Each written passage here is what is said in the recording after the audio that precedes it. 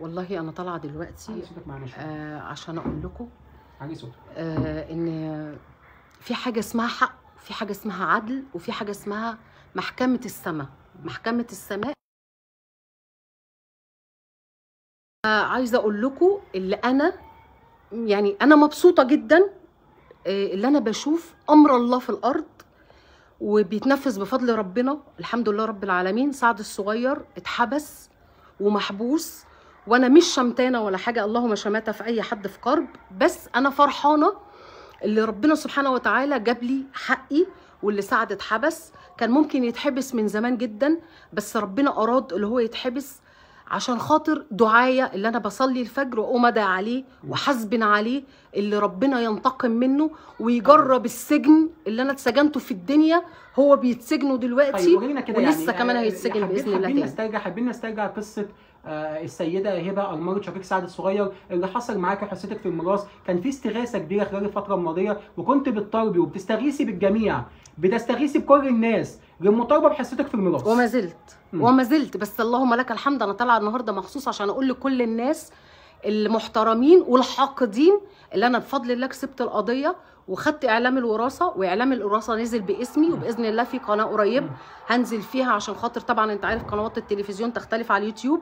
آه هينزلوا لي الشاشة عشان خاطر هو كان عامل برنامج وحلقة في العرافة مع دكتورة بسمة طيب وقال يعني كلام لا ما حصلش. مش حابين نذكر أسامي لا مذيعين لا أنا بتكلم على آخرين. الموقف آه، اللي حصل يعني بصراحة اتفضلي طيب لا. على الموقف اللي حصل أنا ليا حق الرد.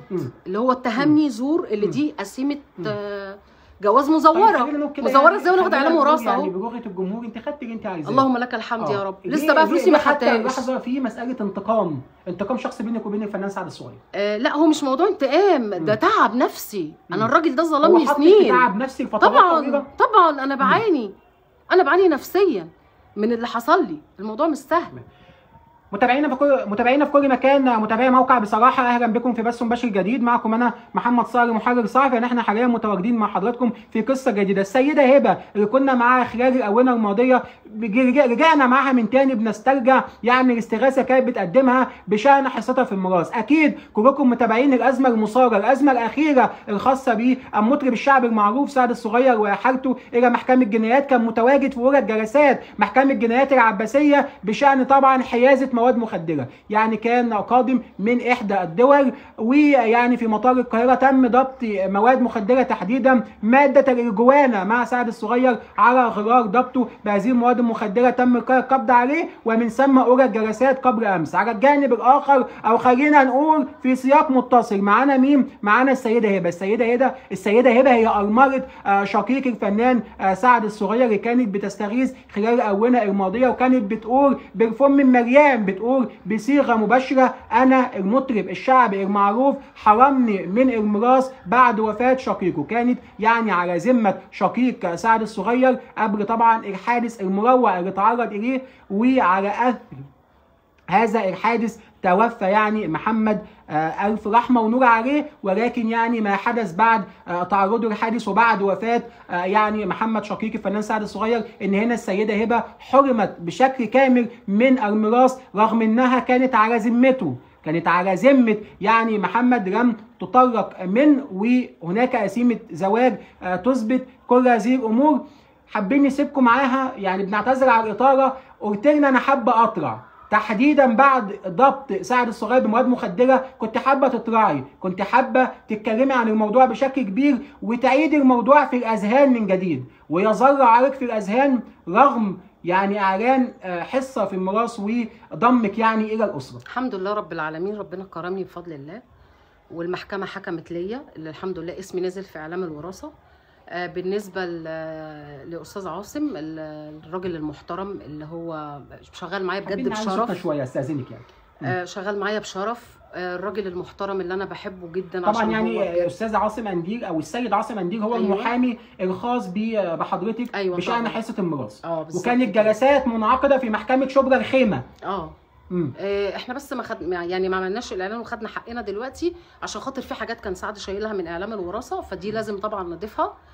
آه، تاني حاجة اللي حطوا أميرة معايا في الإعلام وأميرة مطلقة فهنعمل طعن على آه. إعلام الوراثة عشان طيب آخد يعني الواحد يعني عشان بس إحنا وأولاده بنذكر بس. أسماء إحنا حابين نوضح للمتابعين. أميرة يعني دي طليقته آه الاسماء دي أو الصله صله هذه آه الأسماء يعني أميرة نازلة معايا في إعلام الوراثة. يعني أميرة هي تعتبر الزوجة الأولى لمحمد. شقيق سعد آه الصغير اللي هي طليقته حاليا اللي هي طلقها آه، قبل ما يتوفى آه. بسنتين. قبل وفاته تم الطلاق. فاستاذ لأن عاصم المحكمة حتى اللحظة يعني لم تعترف بطلاق أميرة من محمد. لا محمد آه خلاص إحنا هنقدم بقى القسيمه إحنا هنعمل طعن أصلا على الاعلام في طعن على الاعلام أيوه آه. طبعا عاملة طعن على الاعلام بس تم يكفيني إن ضمك أنا يا فندم. ضميت. آه. تم ضمك لاعلان الوراثة بجانب أيوة. أميرة. أيوه بجانب طبعا آه. بجانب الزوجة الأولى. آه بس على كده حد مش كلام المحكمة. الحكم كده. كده الحكم مش عاجبنا لأن كده الحكم ما يعتبرش عادل لأن هي طليقة مطلقة.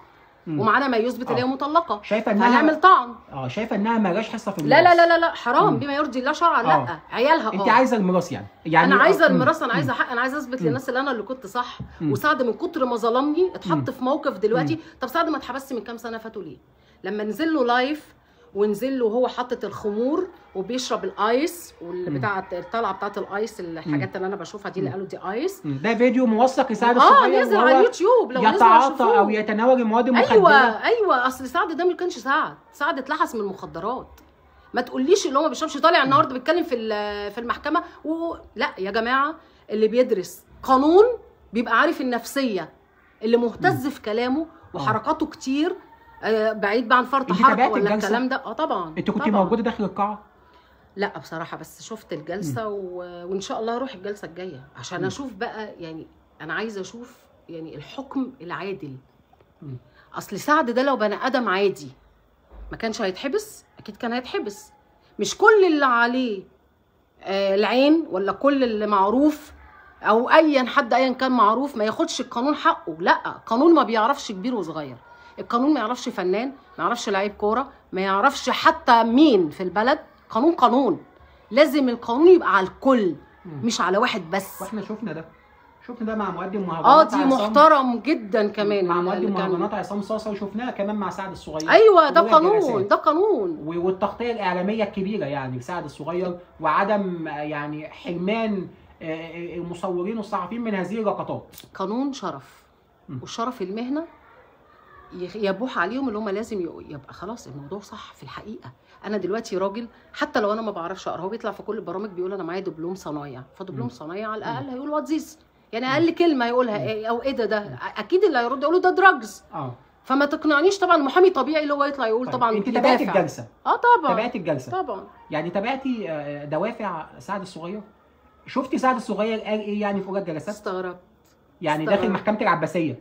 عمره ما كان بياخد التمول عشان تعبه الكلام ده كله على كلامه اللي هو بيقوله. يعني سعد بيعاني من مرض ما الله أعلم ونظير أعلم. نظير هذا المرض بيتناول الترامادول ده طبعا حبيبي، زي زي ناس كتير أنا- ممكن يكونوا بيعانوا من أمراض. أوكي الله يشفيه في كل مرض ومكتوب إلا المرض. ثواني يا فندم ومكتوب له في إحدى الروجيتات الطبية إنه يتناول هذا هذا المخدر. لا هو سهل قوي اللي أنا؟ أجيب ده اللي أنا أجيب روشتة تقول. اللي أنا باخد كذا وكذا. ده سهل ده مش صعب وأنت عارف كده كويس. بس الطبيب الشرعي هو اللي هيجيب الآخر أصلا ما يهمنيش يتحبس ولا ما يتحبس لأن أنا كده كده هحبسه.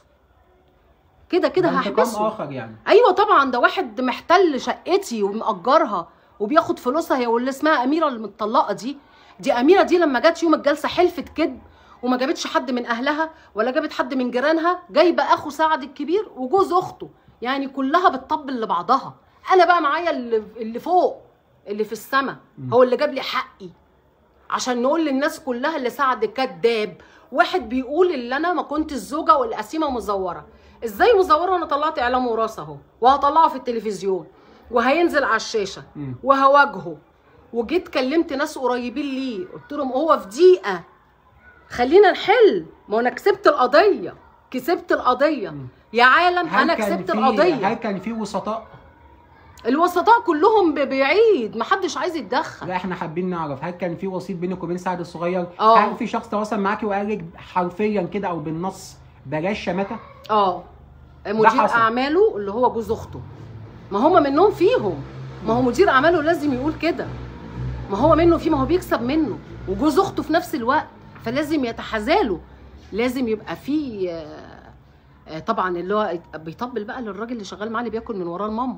طب كلمه في قال الحق لك إيه بالظبط؟ يعني عشان الوسيط له. هذا الوسيط داعي بيقول لي اسمه. أرجوكي- بس قال إيه؟ أرجوكي بترجاكي وعندي فويس بصوته. بيقول لي أرجوكي كفاياكي دعاء على سعد. أرجوكي ما تدعيش على سعد. قلت له أنا بدعي عليه من حرقتي. يعني ده غصب عني. ده راجل مش عايز يديني حقي. أنا ليا حق. وكذب. يعني أنت بتتكلم في شرف. وبتطعن في الكلام اللي أنا بقوله. وبتقولي اللي أنا مش زوجة وبتقولي اللي أنا ماليش حق. طب أنا جبت ده وأثبتت كل ده. أثبتت كل اللي أنا بقوله ده. يبقى حضرتك إزاي بتقولي الكلام اللي أنت بتقوله ده؟ بس يا فندم بس يا فندم خليني أوضح لحضرتك يعني إن حتى الزوجة الأولى في أطفال في أطفال من الزوجة الأولى والاطفال يعني هم ابناء أطفال. أبناء محمد. مفيش أطفال. هما كبروا دلوقتي. أو أبناء. بقوا شباب ما شاء الله. أبناء. آه طبعا. بلاش نور أطفال. أبناء محمد. أبناء محمد من الزوجة الأولى. محمد شقيق سعد الصغير وهو, وهو أيضا كان يعني آه، زوجك. دولت أكيد ليهم حق في في الميراث وليهم حصة. أيوه طبعا أنا ما انكرش ده. مم. حقهم لازم ياخدوه لكن أميرة ملهاش حق. أنا برجو بس الناس اللي بتبعت تعليقات ملهاش لازمة. يا ما تخشش على اللايف وتتفرج عليا. يا. تحترم نفسها عشان كل حد أنا هقاضيه. أي حد هيتكلم عليا كلمة. مم. أنا مش هقبلها هقاضيه. وهجيب ال account بتاعه وأبلغ مباحث النت. مم. فكل حد بيكتب كلمة أنا مش عايزاها أو يعني- ما ينفعش. إن كانت ست ممكن تكون ماشية مع سعد ولا واحدة مرافقاه ولا راجل ملوش ثلاثة لازمة يتكلم عليا أنا هقاضي. وهرفع قواضي على الناس دي كلها. بتتابع التعليقات جيدا. يعني حتى أيوه وانت عشان الناس قليلة وانت الأدب ما معايا عندهمش دلوقتي دم وأنت معايا دلوقتي بتحاولي تشوفي البث المباشر على على أيوه عايزة. أشوف تعليقات الناس اللي فاكرة نفسها اللي هي بتتكلم في الحق. مش خايفين اللي يقفوا. أنا خصيمة كل اللي بيتكلم عليا كلمة وحشة أمام الله سبحانه وتعالى. يلا خليهم ياخدوا من السيئات ويدوني شوية حسنات. لأن اللي بيتكلم يا يتكلم بما يرضي الله لا يتفرج وما يكتبش تعليقات. التعليق على الحق. أنتوا بتخرسوا من الحق ليه؟ اللي بيتكلم على سعد وواقف جنب سعد دلوقتي شيطان أخرس. ربنا هيحاسبه. اتكلم في الحق اللي عايز يبعت تعليق يتكلم في الحق اللي يرضي ضميره أمام المولى عز وجل. ولديك رقيب عتيد. يا ناس يا اللي بتتكلم لديكم رقيب عتيد بيسجل. أما الناس الفسقة اللي ما بيهمهمش الكلام اللي أنا بقوله دول حسبنا الله ونعم الوكيل فيهم بقى. طيب كلمينا. كلمينا كده خلينا نرجع للنقطة الأهم. قلت إن في وسيط تدخل. آه. وبعد يعني القاء القبض على سعد الصغير هو شعر وحس إن اللي بيحصل لسعد ده بسبب حضرتك وكلمك حصل وقال لك ارجوكي بلاش دعاء على سعد حصل. يعني الراحمون يرحمهم المولى عز وجل ونعم تحت الشعار ده. ونعم بالعلي القدير مم. أنا قلت له أنا هرحمه وهدعي له اللي ربنا يفك ضيقته بس خليه يقول يعترف أمام الله بينه وبين نفسه اللي هو في الدقيقة دلوقتي يقول آه والله الست فعلا دي أنا ظلمتها. الست دي أنا حضرت لها جواز قبل كده وحضرت لها طلاق قبل كده. وعرفت اللي هي رجعت آه، لأخويا. وعرفت اللي هي فعلا زوجة شرعية فاتقي الله واديها حقها عشان ربنا يفك. كربي. هو فعلا كان أخفى عنك خبر وفاته؟ خبر وفاة محمد؟ أيوه أنا ما كنتش أعرف. محمد. توفى نتيجة حادث مروع فعلا؟ لا لا لا لا لا لا. هو على كلامهم سكتة قلبية على كلامهم هبوط حاد في الدورة الدموية. مم. على كلامهم الله أعلى وأعلم. أنا كان محمد قبل ما يتوفى بثلاث ساعات كان عندي. وما كانش فيه أي حاجة خالص بس كان شكله فعلا تعبان. وأنا لما قلت له أنت واخد إيه قال لي واحد قابلني اداني حبايتين ترامادول و... وأنا نازل من على السلم. فلما جيت قلت لسعد قال لي خلاص بقى اللي مات مات بقى خلاص مش عايزين نفتح حاجة. مم. لا تاني معلش تاني معلش حبيتين إيه؟ ترامادول. ده ده, ده سبب وفاة محمد؟ محمد لما جالي اليوم ده كان. بيقول لي أنا واخد حبايتين ترامادول. مين مين ادى لمحمد يعني بيقول لي المخدر ده؟ واحد جاري في العمارة. لما أنا جيت كلمت سعد وحكيت له قال لي لا خلاص هو مات بقى مش عايزين نفتح حاجة زي دي. مم. والله أعلى وأعلم. حاسة إن ممكن يكون سعد الصغير يعني عنصر أو سبب في والله بص هو أنا جالي المخدرة هو أنا ما يعني؟ أكدبش عليك أنا ربنا لا يحاسبني. أنا جات لي حد كلمني في التليفون واحدة ست هي حيه ترزق على فكرة بس هي خايفة. يعني هي خايفة تطلع تتكلم. وقالت إن اليوم ده كان سعد عندها هو ومحمد. وكان اوفر دوس ونزل تعبان. خلي بالك المعلومات دي خطيرة اعلى جدا. واعلم أنا بتكلم على اللي حصل. بس هي معلومات مهمة أنا عايزه أقول يعني لك على حاجة. إحنا بنربط آه، أنا حيازة قدام م- ربنا ما حدش هينفعني. إحنا بنربط يا فندم حيازة المواد المخدرة لسعد الصغير ب...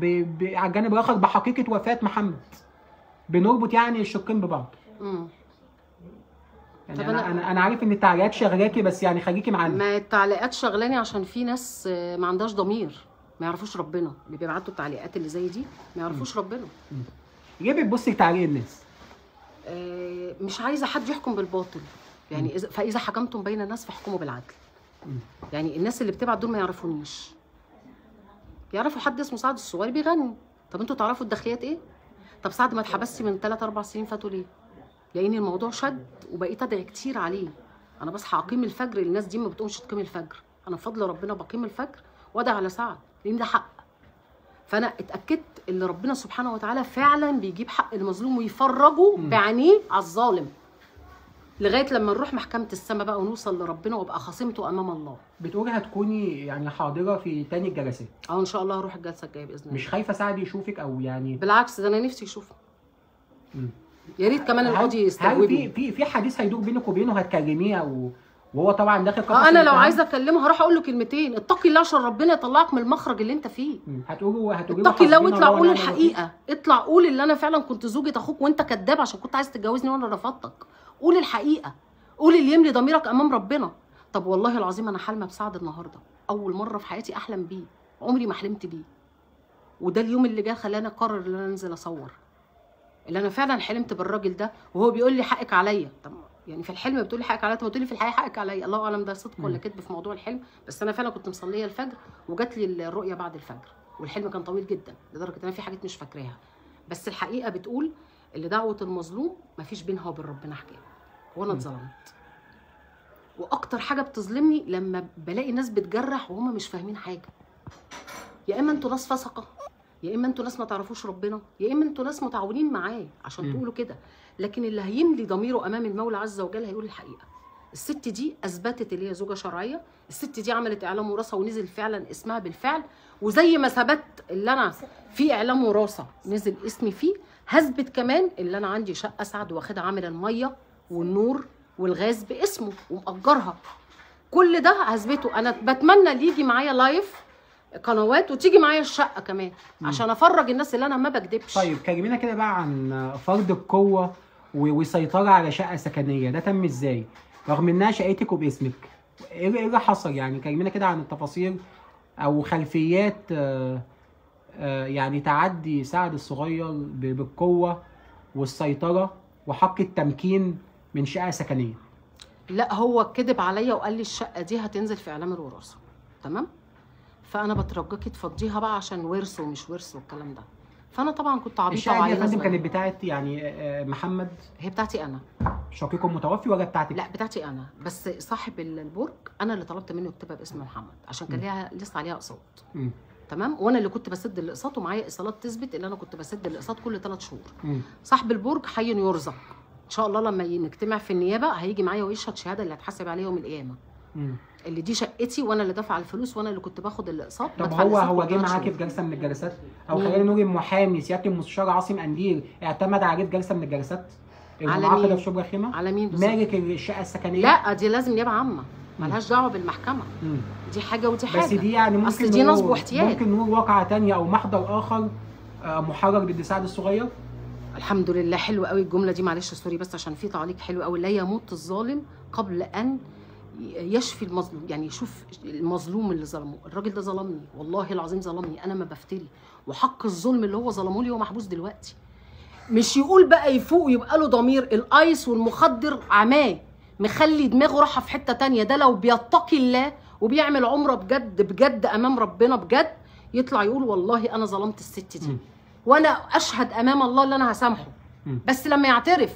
لكن كبرياءه وغروره ونجوميته والشيطان اللي غاويه مخليه مش عايز يعترف. طب إيه إيه سر العناد؟ يعني كلمينا كده سبب عناد آه، يعني ممكن الشعب؟ سعد الصغير. رفضي ليه؟ قهرة الراجل وحش. إيه تاني معلش؟ رفضي ليه كزوج كان قهرته وحشة. اللي أنا اسيبه رفضتيه إزاي؟ اللي أنا أسيبه وأخد أخوه. فكانت بالنسبة له كان صعبة. عايز يتجوزك يعني؟ طبعا ده طلبني حتى لما محمد الله يرحمه. توفى. طلبني بعد ما محمد ما مات. وكان عايز أيوه.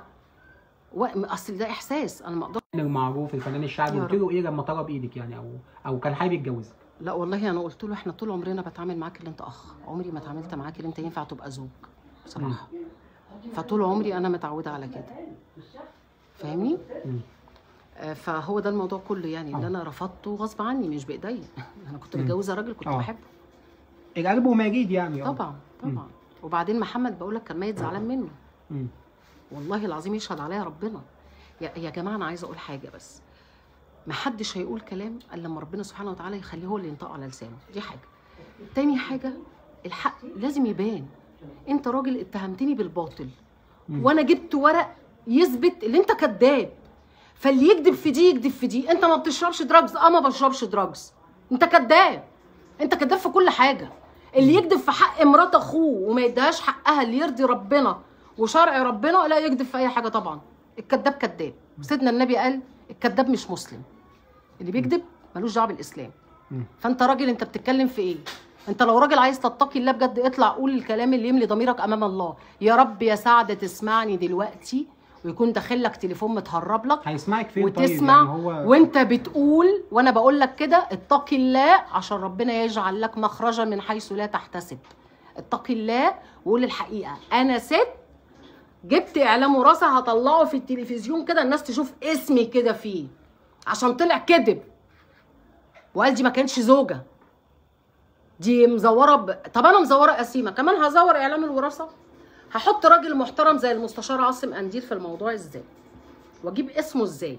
هو راجل شرف لأي حد. خلينا نقول إن حتى اللحظة مفيش فرمان أو قرار صادر من محكمة شبرا الخيمة بعدم أحقية الزوجة الأولى.